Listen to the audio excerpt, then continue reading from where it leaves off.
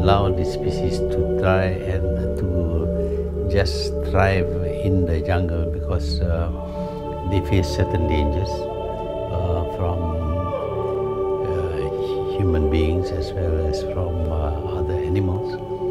So it is important that uh, they have a place where they can be protected